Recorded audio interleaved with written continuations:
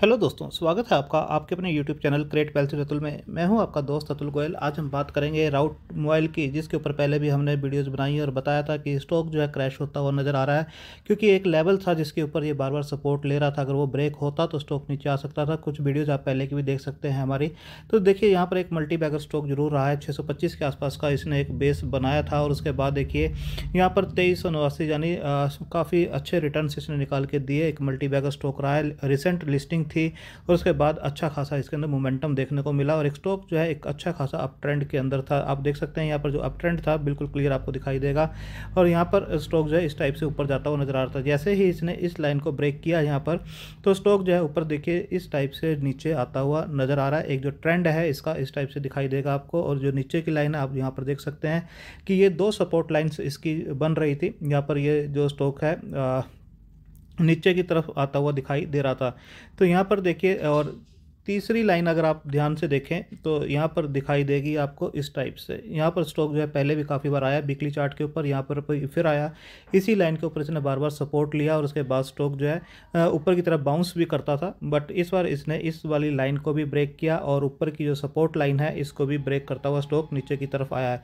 यहाँ पर stock resistance face कर रहा था तो देखेंगे सारी अहम जो सपोर्ट थी इसकी, उसको इसने ब्रेक कर दिया। सबसे पहली सपोर्ट थी, इसको ब्रेक किया है। देन इस सपोर्ट को ब्रेक किया और उसके बाद देखिए तीसरी सपोर्ट को ब्रेक किया है। सपोर्ट्स को ब्रेक करने का आ, मतलब ये है कि जो आने वाला टाइम है उसके अंदर ये जो सपोर्ट्स थी जो आ, अच्छी खासी बनी हुई थी अब आने वाले टाइम में इस के लिए ये रजिस्टेंस का काम करेगी। स्टॉक के लिए थोड़ा सा ऊपर जाना टफ होता हुआ या स्ट्रगलिंग टाइम होता हुआ नज़र आ सकता है टाइम ले सकता है और जो है आपको पेशेंस रखना होगा आप इसके अंदर इन्वेस्टमेंट कर रहे हैं तो। वीकली चार्ट पे देखिए, सिर्फ़ थर्टी टू की RSI है, जो कि काफ़ी बिग स्ट्रेंथ को शो कर रही है कि स्टॉक के अंदर उतनी स्ट्रेंथ अब बचती हुई नज़र नहीं आ रही है। आपको बिल्कुल ध्यान रखना होगा कि ये जो बड़ी वाली कैंडल आप देख रहे हैं, जिसका लो है ग्यारह सौ के आसपास ये बड़ी जो ग्रीन कैंडल है इसको अगर इसने ब्रेक किया नीचे की साइड में जो सपोर्ट बनता है इसका, आप देख सकते हैं यहाँ पर, ये बड़ी वाली जो कैंडल है, इसका अगर लो ब्रेक होता है तो स्टॉक जो है काफ़ी नीचे जा सकता है, इस लो के ऊपर आपको बिल्कुल नज़र रखना है।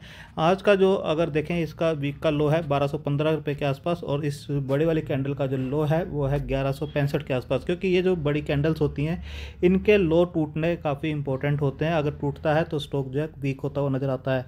तो ग्यारह पैंसठ के आसपास बिल्कुल नज़र रखिए। अगर ये लेवल टूटता है तो स्टॉक जो है, एक हज़ार चालीस रुपये तक के लेवल टेस्ट करता हुआ नज़र आ सकता है। तो बिल्कुल आप इनके ऊपर नज़र रख के चलिए। स्टॉक जो है, लगभग इन लाइन्स के आसपास पहुँचता हुआ नज़र आएगा।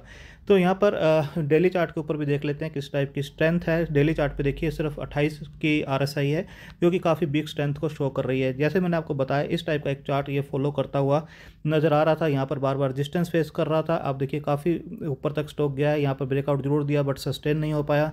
अगेन देखिए इन लेवल्स के आसपास मल्टीपल टाइम्स आया है।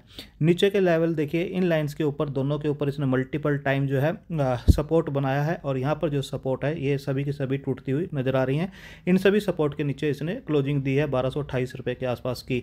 तो चार्ट स्ट्रक्चर अब वीक होता हुआ नज़र आ रहा है, जो एक अप ट्रेंड था, वो बिल्कुल डाउन ट्रेंड के अंदर बदलता हुआ नज़र आ रहा है और जो सपोर्ट लेवल थे सभी टूट चुके हैं और स्टॉक जो है अब ऊपर जाते हुए इन्हीं सपोर्ट लेवल के ऊपर जो है रजिस्टेंस फेस करता हुआ नज़र आएगा।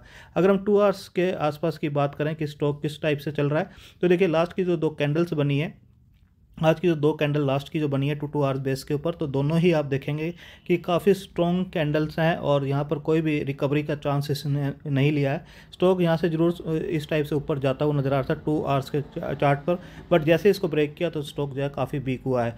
तो नीचे के लेवल ग्यारह सौ पैंसठ जैसे मैंने वो कैंडल आपको दिखाई थी, बिल्कुल उसको नज़र में रखिए। अगर उसका लो ब्रेक होता तो एक हज़ार चालीस से लेकर एक हज़ार साठ के लेवल से टेस्ट करता हुआ नज़र आ सकता है।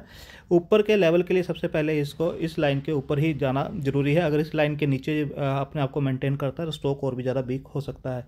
अगर आप इसमें किसी भी टाइप की ट्रेडिंग या इन्वेस्टमेंट कर रहे हैं तो लेवल्स को नोट करके रखिए और ट्रेंड लाइन्स को ड्रॉ करके रखिए, तभी आप शेयर मार्केट में पैसा कमा पाएँगे। थैंक यू धन्यवाद.